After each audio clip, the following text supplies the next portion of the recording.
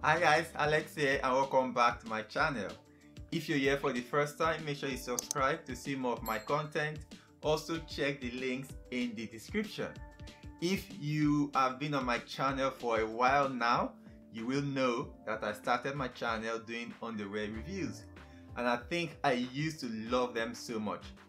It was like something that was meant to be because I started my modeling career doing fashion, runway, and then I moved on to underwear and fitness. From there, naturally, I started doing underwear reviews on YouTube. Now I have my own brand, and I think I kind of stepped back from doing underwear reviews, but I'm like, you know, why should I stop doing what I enjoy doing because I now have my own underwear brand. So today I am doing an underwear review. It's um, the first one maybe for a very long time, but I think I am a bit more experienced. I have my glasses to prove it and I also now have my own tailoring measuring tape. See? Now it looks like I know what I'm doing. Before I add this, I add this one that was used for that is used for builders, like they use this one. So I add this one, and the first thing I did when I got this was to take measurement of you know who or you know what. But anyway, um, yeah, I am back on the underwear review um, business and today I am reviewing the Aussie underwear. I have them in extra extra large and I also have them in medium. Now the reason why I got the Aussiebum in um, these sizes is because I bought them from um, a Chinese website and to save money and I wasn't too sure if the sizing was going to be good uh, because they usually have a smaller sizing system. So that's why I have them in medium and extra extra large. With my physique I have a, a very small um, waist. My waist is 32 actually 30 if you just take a measurement of it. I'm going to show you. So if we use inches and go through my waist yeah so if you take my waist like literally right down there it's like almost 28 29 but you know if i wear a size small underwear it's not going to go through this bad boy. So that is why i wear medium. And with some underwear I actually wear large. The waistband might be a bit too big but um, at least it will go through my glutes the first thing I need to talk about is the fabric. This is um, pretty much 95% cotton and 5% elastane or polyamide or whatever you want to call it. Um, yeah, and I think that is a bit basic and lazy for most brands because you know I've spent time studying fabric for underwear and I think just 95% cotton and 5% elastane it's just a bit too basic for an underwear it doesn't give it enough flexibility and um, you know stretchiness personally. Um, that's what I think. The next thing I always look out for now when it comes to underwear is the leg sizing. I need the leg sizing to be big enough and yet not too big. So if we take my tape and check um, I just need to find out where it's inches and where it's here. Alright, yeah. So uh, we are going to use centimeters. So if I use my tape measure uh, to take the measurement of this, this is uh, 23. So I think that is quite standard for most. Um, but if it's 23, sometimes it's best to have it a lot more elasticated because this is not going to fit my big legs. Um, but for standard people standard like people that do not go to a gym this will be fine. You know sometimes it might even be too big if you have like really tiny um, quads. Quads? Yeah quads you know. Another thing i always want to look out for is the inner label now with this one they have added it to the waistband which i don't think is the best thing to do because sometimes you can feel it when you have the underwear on. Most brands nowadays will have the label on the fabric because then you can feel it and yeah it's a bit more comfortable. Another good thing to talk about in underwear is the uh, seam so that is literally looking at the finishing almost and the leg the finishing at the inside and looking at the tailoring and all that.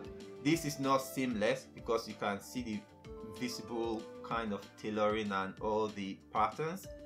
When you talk about a seamless um, underwear they try to hide the joint and the tailoring a bit more so that it just feels a bit more comfy and fresh on your skin um, so that is what they usually do. This is not very seamless so you can literally see and feel every inch of the um, tailoring which is the style of this underwear. And I think it's not that bad. They've done a good job with the finishing. It's not messy. You know it's pretty much yeah it's quite nicely done. Like if you look inside another thing I've kind of really focused on recently is the size of the waistband. Again I'm going to use my um okay. This time I am going to use the centimeters as well. And let's find out what is the size of this waistband. So this is a 4 like almost yeah I'll call it 4 which I think is the standard for most underwear nowadays. We have some underwears that are 3.5 some are 3 like really small and some like really big bold uh, waistband goes up to 4.5 my new collection is going to be a 4.5 which I think looks one of the most important things and that's why I've left it for the very end is the pouch. Now this pouch design I think is good. It's almost as like the 3d effect. And if you look from the inside you notice that you know it's designed to you know pretty much have some room. I'm going to flip it. So if you look at it from this way you will notice it has a very nice cup effect.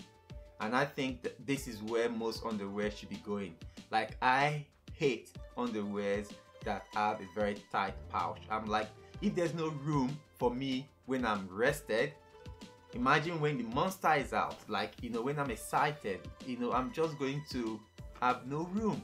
So um, i am a big fan of nice big pouch um, for comfort and also to make sure that it can contain the monster when um, when he's woken up. So what do you guys think about the Aussiebum um, underwear um, I think I like this color because it's bright uh, but I think the XXL is a bit off in terms of proportion and size and stuff like that. I think maybe next time I will try not to be too cheap and get the underwear from a UK website or something and maybe the measuring will be a bit better and to fit a bit better. The tradition of my underwear reviews have always been to rate my underwear based on design, functionality and looks. So my rating for Aussie Bomb based on this underwear would be hmm, for um, design I think the design is nice. I like the cup pouch so that alone gives it a score. I like the waistband and yeah I think it's pretty much um, a nice design the finishing can be a bit better. You can see there is a bit off there.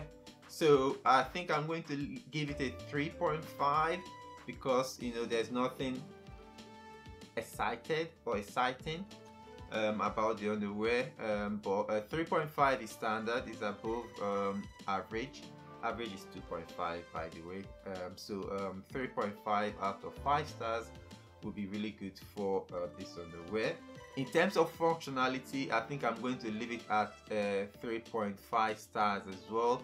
And that is all because of the pouch. The pouch can be a bit bigger or it should be a bit bigger or maybe it's the sizing issue. But I think because of the pouch I think it's um, going to be uh, comfy for people that have the right size on. So I think I'm going to give it 3.5 based on that there's nothing else that it has been designed for so 3.5 it is. In terms of the looks I think you know I like the cut of the underwear I like the um, seam there I like the pouch design. Yeah everything looks good. The um, branding on the um, waistband I think is very sexy and very modern not just putting a writing right across. Um, so I think I like that as well so yeah so in terms of um, looks I think it's a, a, good brand a good look. So uh, maybe a 4 on this one on looks. Um, yeah I think maybe a 4 on that. Tell me what you think. If you think I've been too generous or too stingy with my ratings let me know. Also as always tell me what color you think looks best on me. I always like bright colors but you let me know what you think as well thank you for watching and I will see you next time